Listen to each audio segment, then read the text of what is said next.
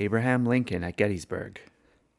Four score and seven years ago, our fathers brought forth on this continent a new nation, conceived in liberty and dedicated to the proposition that all men are created equal.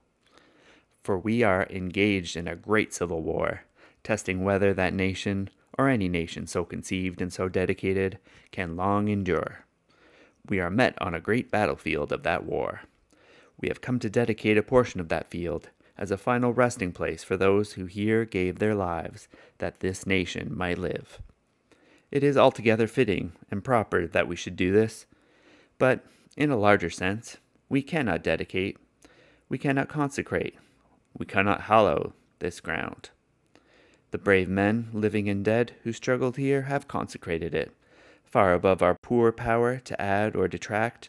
The world will little note nor long remember what we say here, but it can never forget what they did here.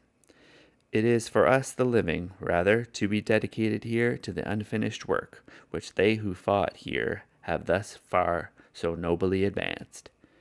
It is rather for us to be here dedicated to the great task remaining before us, that from these honored dead we take increased devotion to that cause for which they gave the last full measure of devotion, that we here highly resolve that in these dead shall not have died in vain, that this nation, under God, shall have a new birth of freedom, and that government of the people, by the people, for the people, shall not perish from the earth.